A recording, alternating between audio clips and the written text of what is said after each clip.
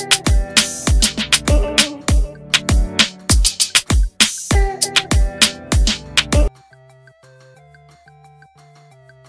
ิ้นหม่อมราชวงศ์สมลาภกิติยากรเลขานุการในพระองค์โสม สิ้นหม่อมราชวงศ์สมลาภกิติยากรเลขานุการในพระองค์โสม ด้านหม่อมหลวงพัทรสุดาโพสต์สุดเศร้ารักพ่อที่สุดในโลกเผยอยากไปด้วยโรคมะเร็งในกระเพาะอาหาร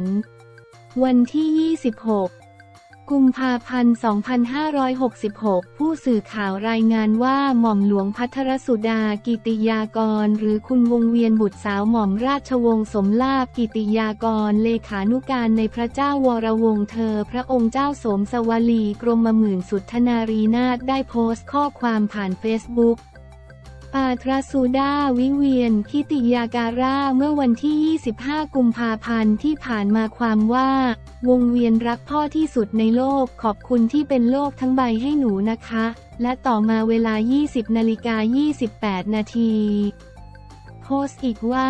คุณพ่อสมลาบนอนหลับฝันดีแล้วนะคะ ยังไงเรื่องงานพิธีการต่างๆ ทางครอบครัวจะอัปเดตอีกรอบนะคะ สิ้นหม่อมราชวงศ์สมลาบกิติยากร เลขานุการในพระองค์สมสิ้นหม่อมราชวงศ์สมลาบกิติยากร เลขานุการใน พระองค์สม จากนั้นได้โพสต์อีกด้วยว่า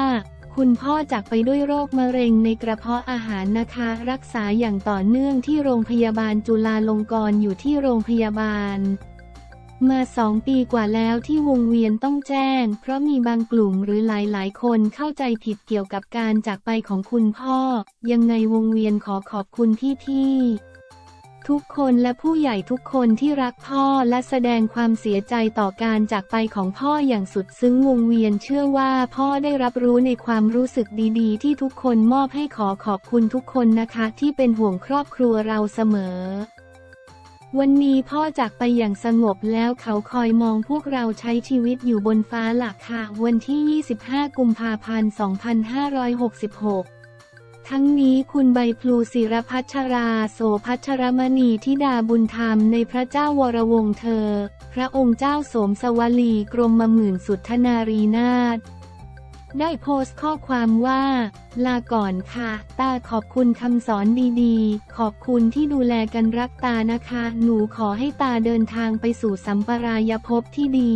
แล้วสักวันหนึ่งเราจะได้พบกันด้านวิสาขาหงสนันก็โพสต์ภาพอาลัยการจากไปของมรลสมลาภเช่นกัน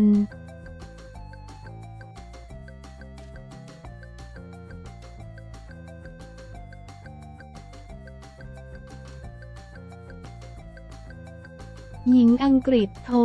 ปรึกษารายการดังผัวชอบแอบมาไทย แถมโอนเงินให้ใครก็ไม่รู้หญิงอังกฤษ สุดกลุ้มสามีที่อยู่ด้วยกันมาเกือบ 50 ปีทำตัวมีพิรุษชอบแอบไป ประเทศไทย แถมยังส่งเงินให้ใครบางคนอีกแบบนี้นอกใจไหมเรื่องราวชีวิตการแต่งงานสุดน่าเศร้าเป็นของ จูลี่หญิงวัย 70 ปี เธอได้โทร ปรึกษาปัญหาผ่านทางดีสมอร์นิ่งรายการโทรทัศน์ชื่อดังของอังกฤษ จูลี่เผยว่าเธอกำลังทนทุกข์ทรมานหลังสามีที่ใช้ชีวิตร่วมกันมา 48 ปีชอบแอบมาประเทศไทยอย่างลับๆ และเธอยังจับได้ว่าเขาแอบส่งเงินหลายร้อยปอนด์ไปที่นั่นทุกเดือน โดยเงินที่เขาส่งไปประเทศไทยนั้น ไม่ใช่เงินจากบัญชีที่ทั้งคู่เปิดร่วมกัน เมื่อเธอถามสามีถึงเรื่องนี้ เขาเอาแต่บอกว่ามันไม่ใช่เรื่องของเธอ ปกติเขาจะชอบหายไปในคืนวันพุธ เมื่อฉันกลับถึงบ้านมันไม่มีข้อความบอกไม่มีอะไรเลยพาสปอร์ตก็ไม่มีและเขาก็เอาเสื้อผ้าไปด้วย ฉันอายุ 70 ปีแล้ว ฉันไม่รู้ว่าฉันต้องทำยังไงด้านเดเดอร์พิธีกรสาวได้ขอร้องจูลี่อย่างหนักแน่นว่า อย่าอดทนกับเรื่องนี้อีกต่อไป และร่วมตำหนิพฤติกรรมของสามี ส่วนฟิลิปพิธีกรชายก็มีรังเกียจพฤติกรรมของสามีเช่นกันเขาเชื่อว่าสามีของจูลี่นอกใจเธอแน่นอน เขามีคนอื่นเขาไปประเทศไทยเพื่อไปหาใครสักคน อาจจะเป็นผู้ชายหรือผู้หญิง ฟินลิปกล่าวหลังจากเรื่องราวถูกเผยแพร่แฟนรายการต่างเห็นพ้องต้องกันว่า จูลี่ควรเปลี่ยนกุญแจบ้านใหม่ หรือไปพบทนายความซักเพราะพฤติกรรม เช่นนี้โดนนอกใจแน่นอน ฉันคิดว่าพวกเราน่าจะรู้นะว่าเขาไปเมืองไทยทำไม มันอาจจะเป็นเรื่องยากสำหรับคนอายุ 70 นะ อยากให้เปลี่ยนกุญแจบ้านในตอนที่เขาไม่อยู่บ้าน เขามันบ้าไปแล้ว This morning viewer were stunned after a caller raped her husband keep this app pairing to Thailand Image ITV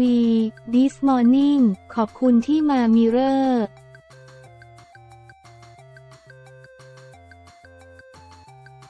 เจ้าสาวใจสลายเจอฉากช็อกเจ้าบ่าวแอบกินนมแม่ในห้องน้ำก่อนเข้าพิธีรักร้าววิวาแทบล่ม เจ้าสาวใจสลายเจอฉากช็อกเจ้าบ่าวแอบกินนมแม่ในห้องน้ำก่อนเข้าพิธีการจัดงานแต่งงานเป็นเหตุการณ์สำคัญในชีวิตของหญิงสาว นักวางแผนงานแต่งงานไม่เพียงแต่ช่วยให้เจ้าสาวแต่งตัวได้อย่างสวยงามเท่านั้นแต่ยังได้สัมผัสกับบรรยากาศแห่งความสุขและโรแมนติกอีกด้วยทว่าจอร์เจีย มิเชลนักวางแผนงานแต่งงานแบ่งปันในพอดแคสต์ The Unfiltered Bride ที่เพื่อนช่างเสริมสวยของเธอพาเจ้าสาวไปแต่งหน้า ก่อนจะพบเหตุการณ์ไม่คาดฝันกลายเป็นฝันร้ายแห่งการสมรสของผู้หญิงคนหนึ่ง จอเจียบอกกับเบธพิธีกรร่วมว่า ช่างแต่งหน้ากำลังพาเจ้าสาวเดินเข้าไปในห้องน้ำก่อนเริ่มพิธี และสิ่งที่เธอเห็นก็เพียงพอที่จะยุติงานแต่งงาน ในตอนแรกเบธคิดว่าหมายถึงเจ้าบ่าวนอกใจเธอตอนเข้าห้องน้ำหรือเสพยา แต่จอร์เจียอธิบายว่าการค้นพบของเธอนั้น เลวร้ายกว่านั้นมากต่อมาจอร์เจียกล่าวว่า เจ้าบ่าวกำลังดื่มนมจากเต้าแม่ของเขา งานนี้สร้างความช็อกให้ห้องส่งและเบสก็ตกตะลึง เบสที่ประหลาดใจตอบว่า ขอโทษ อะไรนะทำไมแม่ของเขายังมีน้ำนมในวัยนี้ ซึ่งจอเจียให้เหตุผลว่า เห็นได้ชัดว่า พวกเขาแอบทำแบบนี้มานานอย่างต่อเนื่องเพื่อไปสู่จุดนั้น ฉันไม่คิดว่าเจ้าสาวจะรู้ว่าอะไรกำลังเกิดอะไรขึ้น แม้เจ้าสาวจะตกใจอย่างเห็นได้ชัด แต่เธอยังคงเดินหน้าจัดงานแต่งงาน หลังจากนั้นไม่รู้ว่าเรื่องราวจะเป็นอย่างไรต่อไป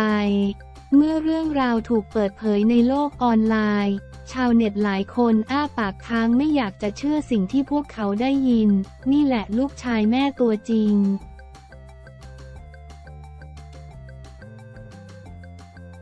ฉันคิดว่าเจ้าบ่าวอาจเสียชีวิตกระทันหันในห้องน้ำ แต่ผลลัพธ์ที่ได้มันเกินจริงกว่าที่คิด ถ้าฉันเป็นเจ้าสาวฉันจะยกเลิกงานแต่งแน่นอน ยกระดับลูกชายของแม่ไปสู่อีกระดับหนึ่ง จุลภาค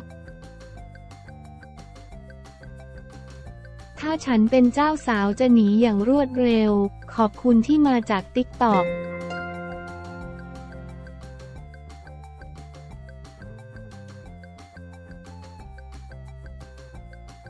yeah.